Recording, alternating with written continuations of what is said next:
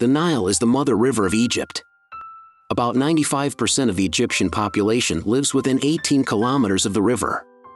The great civilization of ancient Egypt might never have existed without the silt fertilizers brought by the Nile and its regular flooding.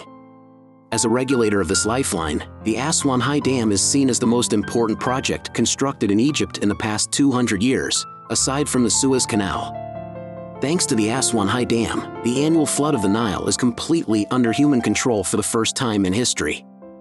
It not only provided water for the reclamation and irrigation of hundreds of thousands of hectares of new land, but also provided about 50% of the electricity resources for Egypt in the last century. As one of the largest dams in the world, the Aswan High Dam is 3,830 meters long, nearly 1,000 meters wide, and 111 meters high. This massive engineering project started in 1960 and was completed in 1970 the amount of earth and stone is equivalent to 17 Great Pyramids of Giza.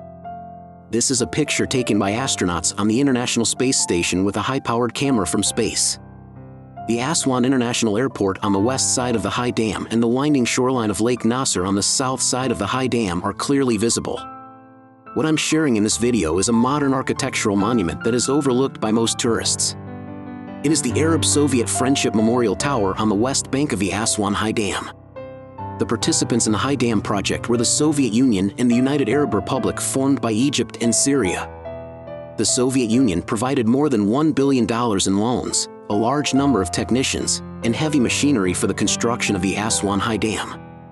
As an important part of the High Dam project, this memorial tower commemorating the friendship between the two countries was unveiled to the public together with the High Dam on January 15, 1971. Looking back on history, it has been more than 30 years since the collapse of the Soviet Union. And this memorial monument, jointly built by Soviet architects Peter Pavlov, Yuri Omelchenko, and sculptor Nikolay Vechkanov 50 years ago, has long been forgotten by most people. According to statistics, less than 50 of every 1,000 international tourists who visit Aswan have visited the High Dam, and less than 5 of these 50 international tourists have climbed the obelisk of modern Egypt few were even more aware of the artistic details of this architecture. In my opinion, this building is not only a historical testimony of the friendship between Egypt and the Soviet Union, but also a great public artwork that combines elements of Soviet constructivism and Egyptian characteristics. It is as important as Aswan's many ancient Egyptian-era sites and well worth a visit. The main building of the monument is shaped by the lotus flower representing the Upper Egypt area where Aswan is located, which is simple and elegant. Five lotus petals as high as 70 meters stretch from the ground to the sky, and a circular viewing platform 46 meters above the ground is placed in the space enclosed by the five petals. Its shape is a gear that symbolizes industry. There's also a secret hidden here that most people don't know. At that time, Soviet architects deliberately integrated the elements of the Soviet flag and the Soviet Communist Party badge, sickle, hammer, and five-pointed star into the design of monuments and dams. This secret can only be discovered from an aerial perspective.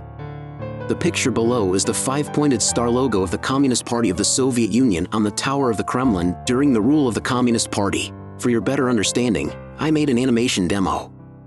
The passage to the monument and the ground in the flagpole area form the shape of the hammer. The curved shape of the dam itself symbolizes the sickle.